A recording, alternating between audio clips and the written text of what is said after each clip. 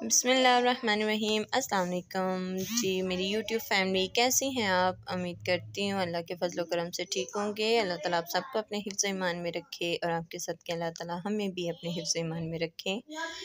तो जी गाइज़ आप देख सकते हैं मेरे रूम की हालत क्या है। आज हम आपसे अपनी रूटीन शेयर करूँगी होम क्लिनिंग तो ज़्यादा बड़ा घर तो है नहीं है, मेरा छोटा सा रूम है और साथ में छोटा सा एक बरामदा है और छोटा सा आगे सीन है। तो अभी फ़िलहाल आप मेरे रूम की हालत देख सकते हैं। अभी मैं सफ़ाई करने लगी थी तो सोचा छोटी सी वीडियो आपसे शेयर करूँ।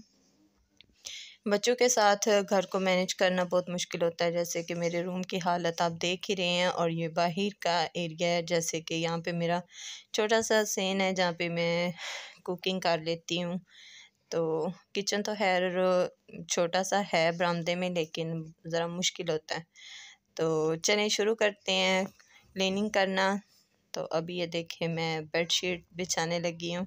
तो सोचा साथ साथ वीडियो बना लूँ और साथ आपको अपनी रूटीन शेयर करती हूँ। तो सबसे पहले मैं इधर से बेड शीट सेट करने लगी हूँ। बिस्तर बहुत बिखरे हुए थे।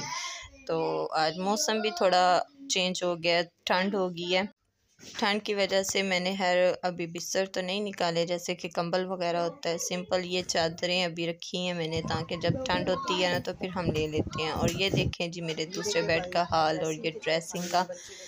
रेगुलर मैं तो हेयर नीट करती हूँ, लेकिन बच्चे हैं जो, बच्चों ने बुरा हाल कर दिया, छोटी बेटी है, पाउडर बहुत ज़्यादा वेस्ट करती है। और ये देख सकते हैं आप मेरे ड्रेसिंग का क्या हाल है। तो इसको भी करते हैं साथ साथ नीट, पहले मैं ये सारी चीज़ें नीट करूँगी, यहाँ देखें आप मेरी शोकेस का भी बुरा हाल है। सारा घर धर्म भरम होके पड़ा हुआ है। तो अब तो यहाँ पे मैंने अपनी बेटी को बोला है जी आप शोकेस साफ़ करो। शोकेस में जो बर्तन थे वो मेरे बहुत ज़्यादा गंदे हुए लेकिन वो फिर थोड़ा टाइम निकाल के इंशाल्लाह साफ़ करूँगी। तो अभी फ़िलहाल हम यहाँ पे लगा रहे हैं कपड़ा और ये देखें बेटी के अभी भी बहुत ज़्यादा चार गंदे हैं।